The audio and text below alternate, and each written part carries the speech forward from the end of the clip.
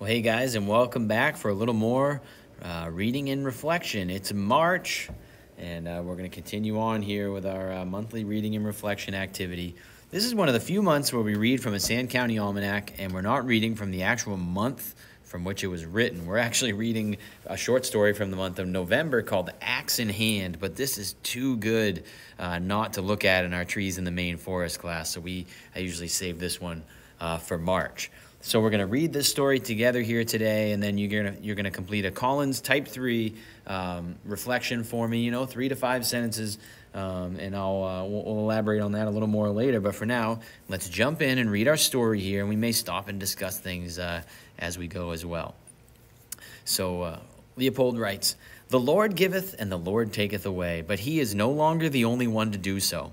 When some remote ancestor of ours invented the shovel, he became a giver. He could plant a tree. And when the axe was invented, he became a taker. He could chop it down. Whoever owns land has thus assumed, whether he knows it or not, the divine functions of creating and destroying plants.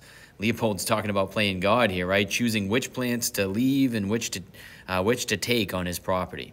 Other ancestors, less remote, have since invented other tools, but each of these, upon close scrutiny, proves to be either an elaboration of or an accessory to the original pair of basic implements. We classify ourselves into vocations, each of which either wields some particular tool or sells it, or repairs it, or sharpens it, or dispenses advice on how to, how, on how to do so. By such division of labors, we avoid responsibility for the misuse of any tool save our own. But there is one vocation, philosophy, which knows that all men, by what they think about and wish for, in effect wield all tools. It knows that men thus determine by their manner of thinking and wishing whether it is worth while to wield any. November is, for many reasons, the month for the axe. It is warm enough to grind an axe without freezing, but cold enough to fell a tree in comfort. The leaves are off the hardwoods so that one can see just how the branches intertwine and what growth occurred last summer.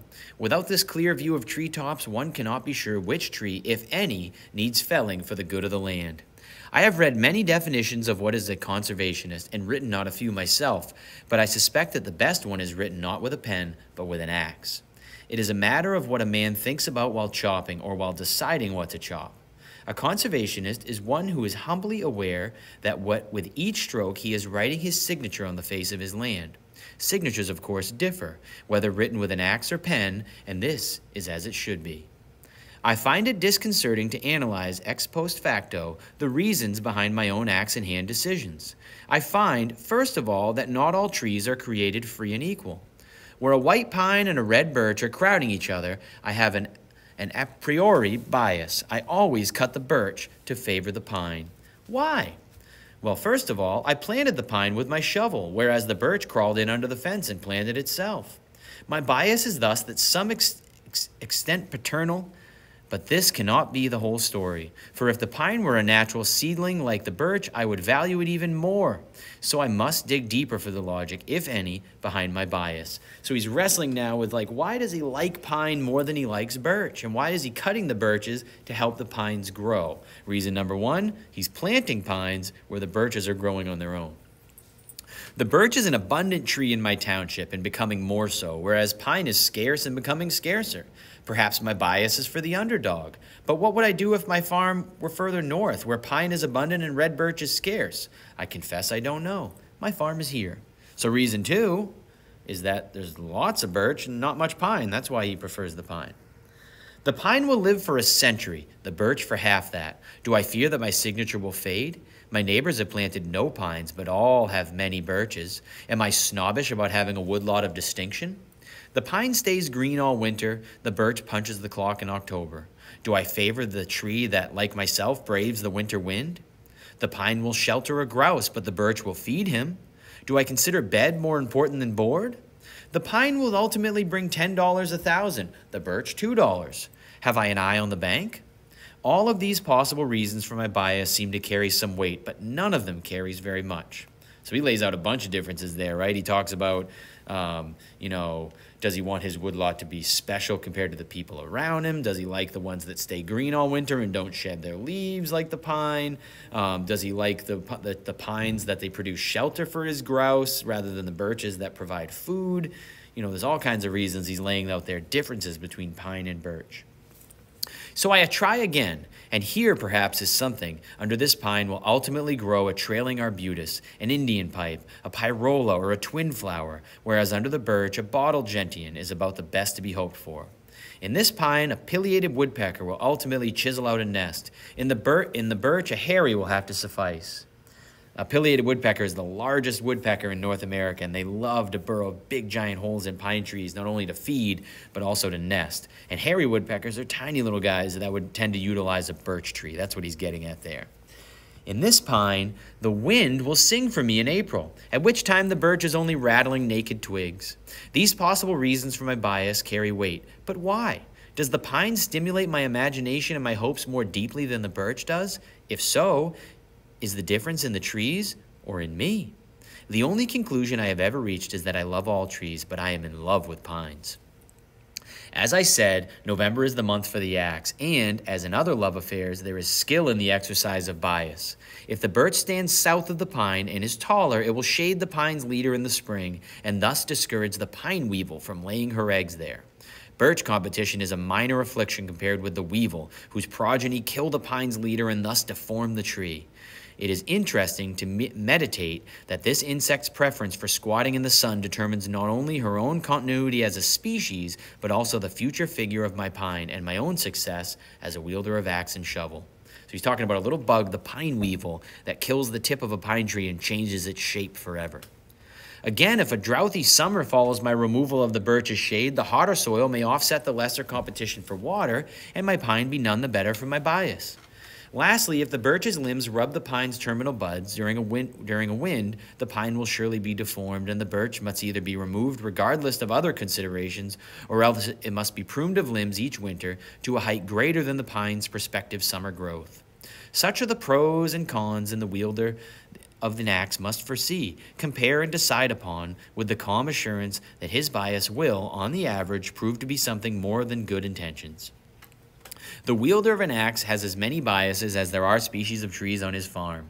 In the course of the years, he imputes to each species from his responses to their beauty or utility and their responses to his labors for or against them, a series of attributes that constitute a character. I am amazed to learn what diverse characters different men impute to one and the same tree.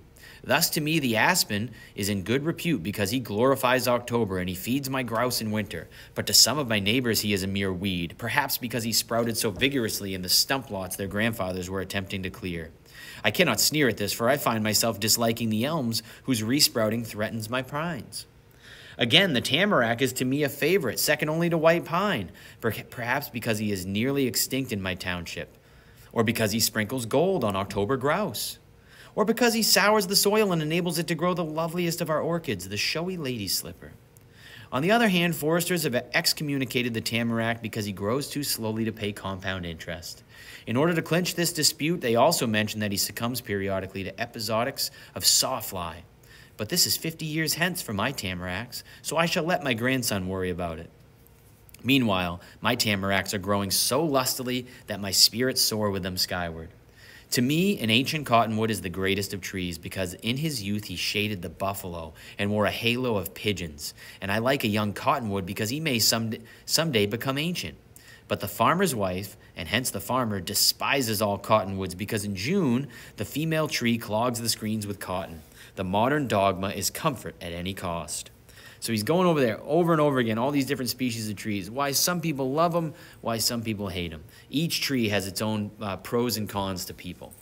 I find my biases more numerous than those of my neighbors because I have individual likings for many species that they lump under one aspersive category, brush. Thus, I like the wahoo, partly because deer, rabbits, and mice are so avid to eat his square twigs and green bark, and partly because he, his cerise berries glow so warmly against November snow. I like the red dogwood because he feeds October robins, and the prickly ash because my woodcock take their daily sunbath under the shelter of his thorns. I like the hazel because his October purple feeds my eye, and because November catkins feed my deer and grouse.